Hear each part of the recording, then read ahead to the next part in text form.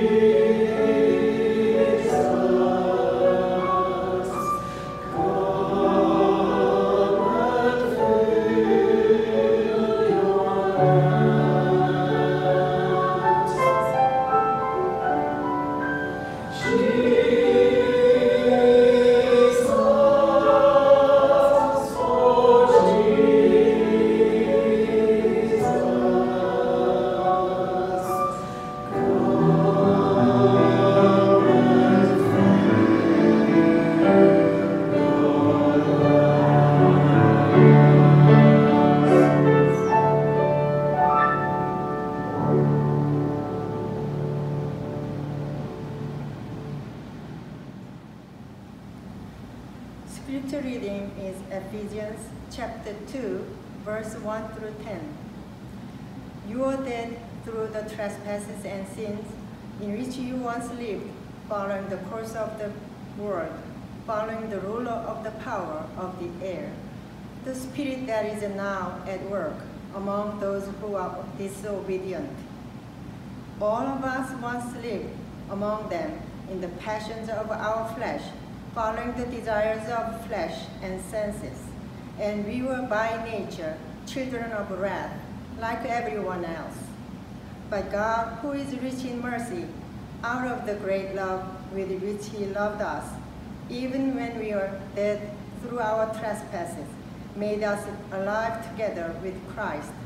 By grace you have been saved, and raised us up with him, and seated us with him in the heavenly places in Christ Jesus, so that in the ages to come he might show the immeasurable riches of his grace in kindness toward us in Christ Jesus. By, for by grace you have been saved through faith, and this is not your own doing. It is the gift of God, not the result of works, so that no one may boast. For we are what he has made us, created in Christ Jesus for good works, which God prepared beforehand to be our way of life. This is the word of the Lord. Thanks be to God. Will you join with me in a responsive prayer? Lord God, we are baptized as individuals, yet called to live and serve together. The image you have shaped within us is mysteriously, incredibly, a reflection of your own being. Glorious God, continue to invite us to sink our roots deep into your love and holiness and to grow stronger each day in our faith in you. Amen.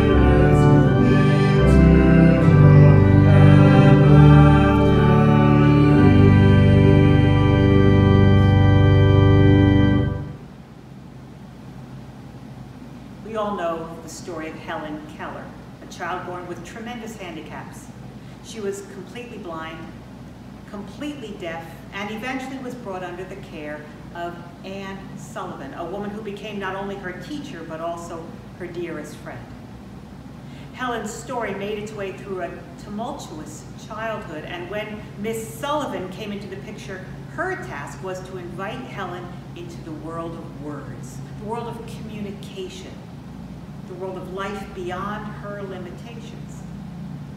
Helen Keller's autobiography indicates that the transforming moment came when Helen and Miss Sullivan were walking down a path to the well house, and someone was drawing water at an outside pump, and Miss Sullivan put Helen's hand under the running water. And then she spelled out the word water in sign language, W-A-T-E-R, in Helen's other hand. And again, she let the water run, and again, she spelled out water. And something clicked. Helen says, it awakened my soul. And as she began to understand that what she was feeling in the one hand was being spelled out for her in the other, she says, in that moment, all my anger left me. All my dread left me. All my fear, all my darkness left me. With that moment, I began to be set free. That, I would suggest, is the power of water. It sets us free. Water, this ordinary substance that on baptismal celebrations we pour into a font, this everyday product that we sprinkle on a person's head, water is a means of freedom. It's a path for renewal. It's a vehicle for new life. The waters of baptism do all of this because in these waters, God is whispering, God is singing, God is actually shouting, I love you. You are my beloved child. Will Willimon says, baptism is the great divine show and tell. God takes water and says, here's grace, here is promise, here is life. Today at our outdoor worship service, we will be celebrating the baptism of one of our young ones. And for that child, in the gift of this wonderful water, God makes love visible. Unconditional, permanent, life-changing love comes into view. Now, why on earth would God do this? Well, by all indications, it's because God wants to be in relationship with us. God invites us to enter into a relationship, human to divine, unequal, yet partnered. And we call this relationship covenant. The waters of baptism are the waters of a covenant, a, a relationship, a, a mutual bond of promise and trust. Now, admittedly, we human beings seem quite incapable of keeping our side of this precious relationship. From day one, we human beings have blown it. Sin is inevitable, proving over and over and over again that we are incapable of staying true to God in all of things. We are incapable of keeping our side of the covenant. And perhaps that's why the entire story of the Bible could be depicted as a story of God's efforts over and over and over again to bring us back into loving relationship, back into covenantal life, to life of commitment and trust.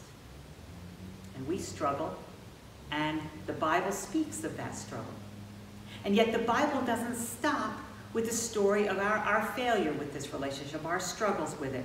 The story of, of God's of the world's broken promise to God is not where the story concludes itself. The Bible goes on to tell the amazing story of God keeping God's promises, God's faithfulness to the covenant, God's healing of the brokenness, God's reconciling and saving love for us.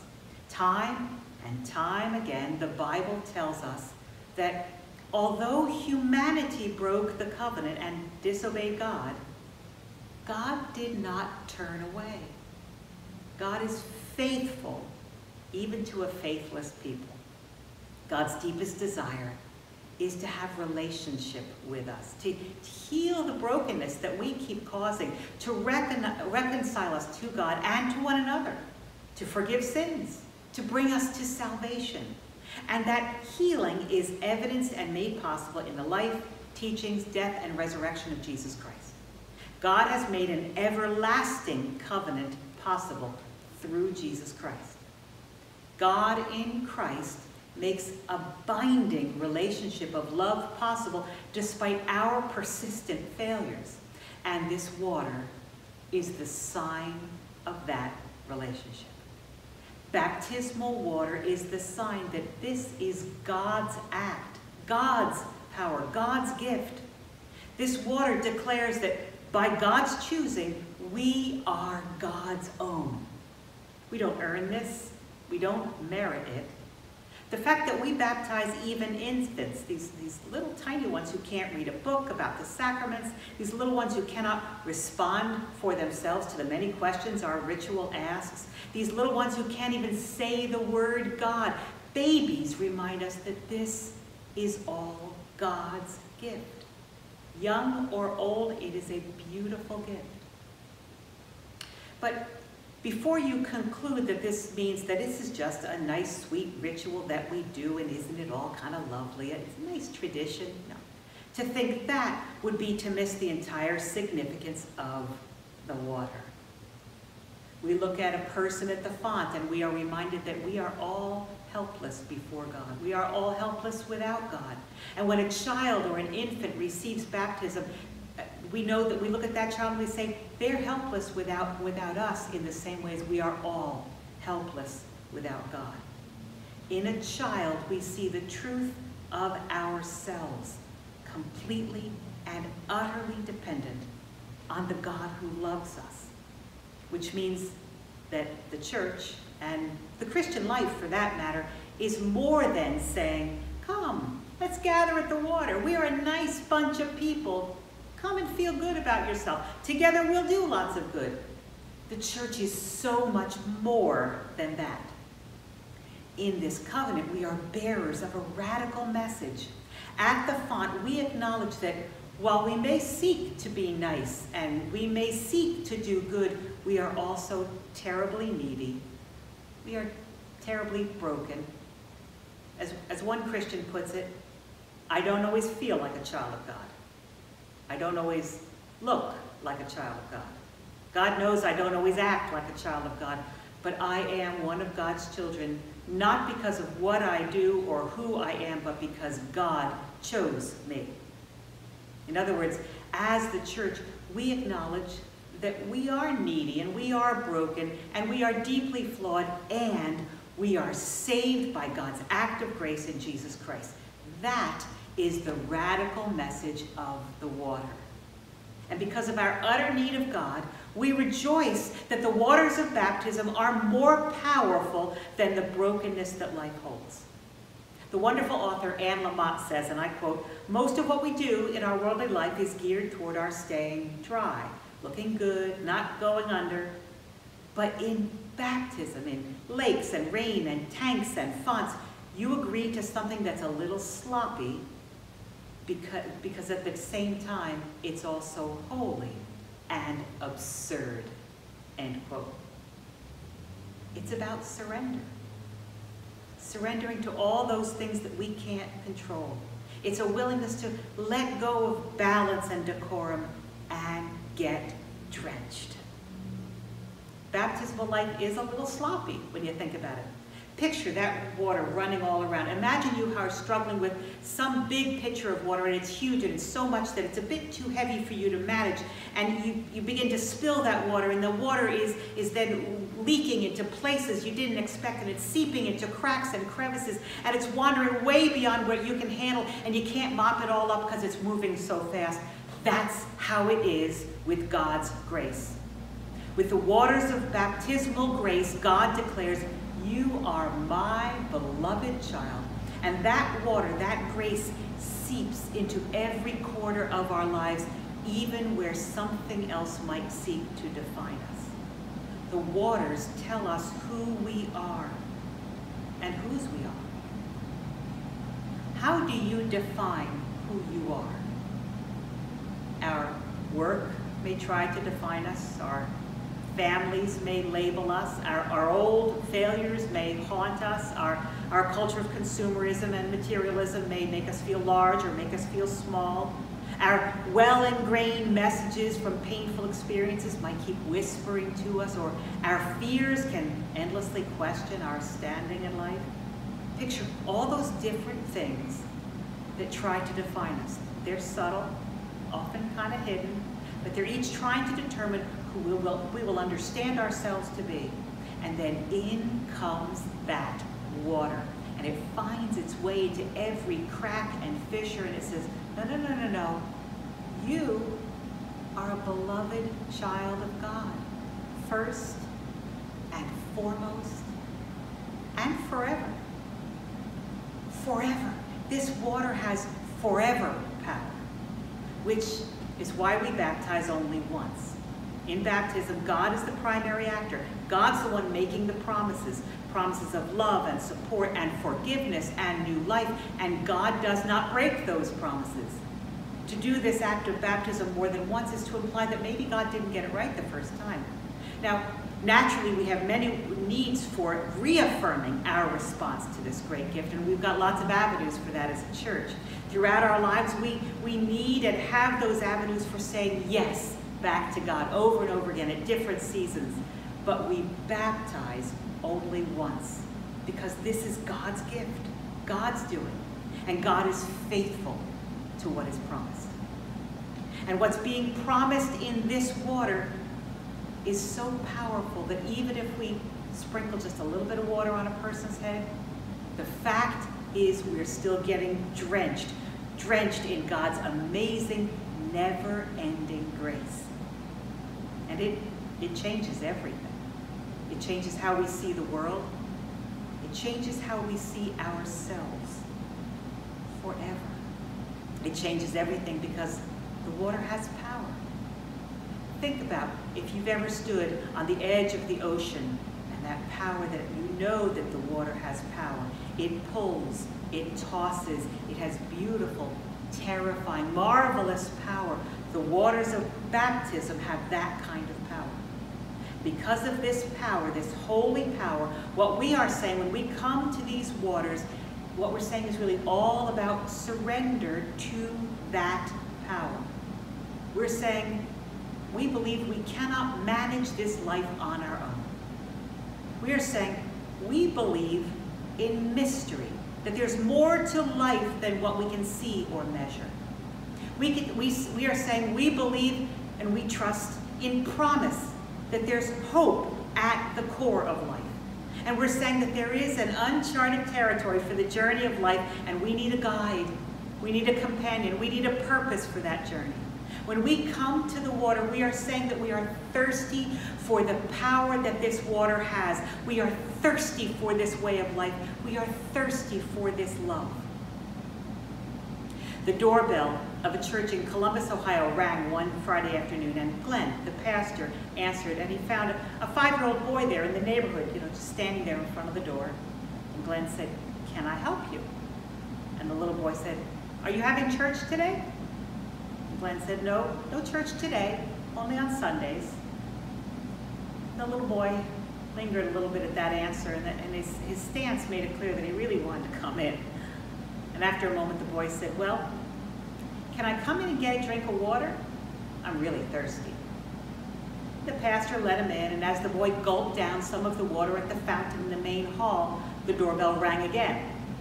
And the little boy looked up from his stream of water, and, he, and as it dripped from his chin, he said, uh, that's my brother. He wants a drink too. And so the two children stood at this fountain enjoying this cold water, and the older of the two paused and said, I like church. And then the younger brother grinned at the pastor and said, don't you want to drink too? The water is great. Yes, the water is great. We are thirsty indeed.